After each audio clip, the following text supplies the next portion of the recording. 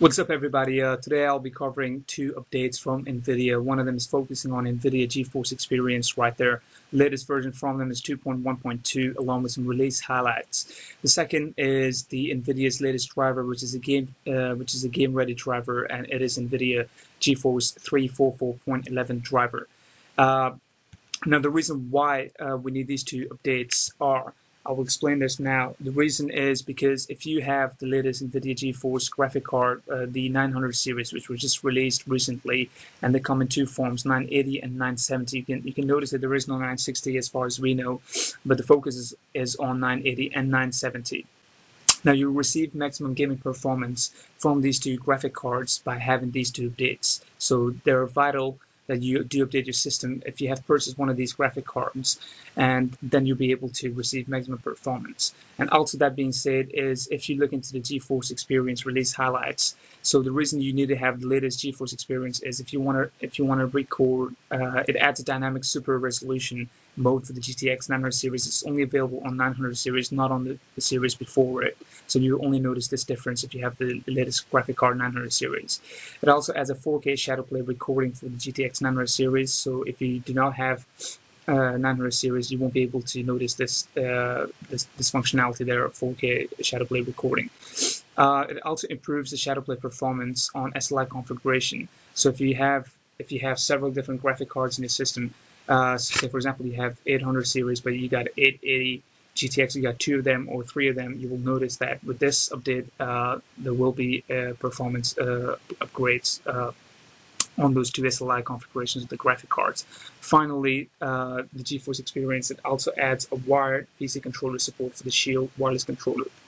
Now, those of you who don't know what Shield wireless controller is, there will be a link in the description you can access and know more about it. But uh, it's a wireless controller, and now they're adding a, a, PC, a wired functionality to it, so where you'll be able to connect to your PC uh, or your laptop uh, via cable. Um, moving on uh, into the driver itself. So this driver, you can see that it focuses on the latest two graphic cards that were released recently by NVIDIA. So there will be significant performance upgrades in GTX 980 and 970. And that being said, we'll also notice uh, we'll also notice performance upgrades in the previous graphic cards. And those of you who have 800 series or 700 series like me, you don't have to worry about uh, not being able to notice any uh, uh, performance upgrades, which you will because uh, the driver always provides maximum compatibility with all the drivers that there are. So that being said, uh, you you also notice that if you have the latest uh, blockbuster games, including these four, uh, Borderlands pre-sequel, Evil Within, F1 2014, and Alien Isolation, there will be uh, performance upgrades for these games, meaning more frames, uh, smoother gameplay, um, and and less GPU consumption, so less power consumption at the same time.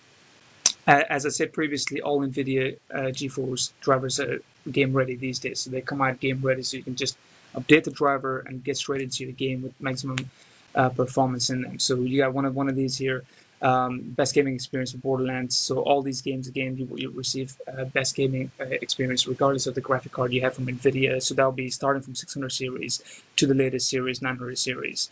Uh, also uh, supports uh, yeah, so it also supports the new GeForce GTX GPUs based on uh, these these graphic cards based on the second generation Maxwell architecture. So you'll notice that 800 series were based on the first generation, uh, whereas 900 is based on the second generation Maxwell. So it's still using the same architecture that was provided in the previous one, except it's just a second gen of that.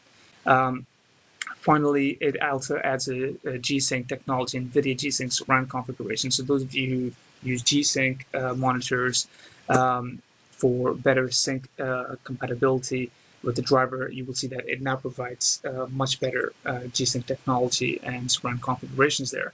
Now, I hope this this uh, video has helped those of you who are looking to upgrade your drivers and those of you who are looking to purchase the new uh, graphic card from NVIDIA 900 series.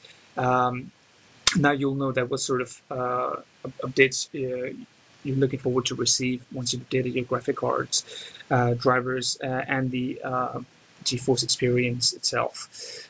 Now, if this has helped, please do subscribe. Uh, if you have any other further questions, please do leave a comment down below. Let me know if this driver has helped you by upgrading to it or if it, it caused any other issues. We'll look into it. Peace out.